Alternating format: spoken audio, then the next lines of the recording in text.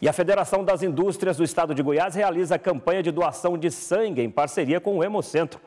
A primeira parte da ação foi desenvolvida durante seis meses em Aparecida de Goiânia, Goiânia e também Anápolis. O projeto segue no período de férias para outras cidades do estado. A primeira etapa da campanha de doação de sangue da Federação das Indústrias do Estado de Goiás foi desenvolvida nas unidades do SESI e do SENAI de Goiânia, Aparecida e de Anápolis. Nos seis primeiros meses do ano, foram coletadas 608 bolsas de sangue. Essa quantidade é capaz de atender mais de 4.600 pessoas. A campanha Doe Sangue, Doe Vida é realizada em parceria com o Hemocentro, que sempre precisa de novos doadores. Essa ajuda é de extrema importância, já visto que o Hemocentro precisa garantir os estoques regularmente para todos os hospitais públicos do estado de Goiás.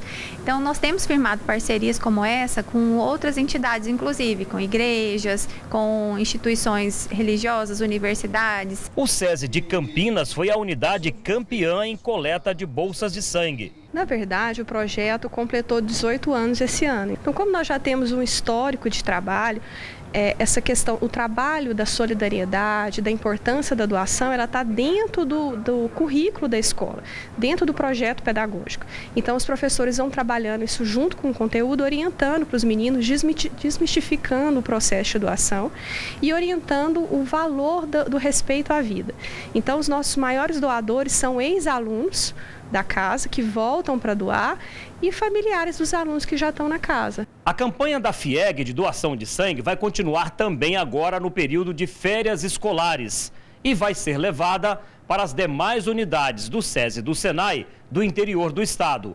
A cada dois meses será realizada uma etapa de coleta e outros parceiros também vão fazer parte da campanha nós estamos fazendo com que as pessoas entendam que é muito importante essa doação. Isso extrapolou. A Câmara Municipal de Goiânia está vindo junto, a Federação do Comércio nós tivemos mostrando que também faz parte dos ESSES, é, eles irão participar também. A Federação da Agricultura, que tem um outro público mais espalhado no interior, também irá participar. Então nós esperamos aí, é, com um ano, dois anos no máximo, nós, o Sistema S está é, alimentando pelo menos 30, 25, 30% de todo o sangue que o, o Estado tem necessidade nós estamos abastecendo esse fornecimento de sangue.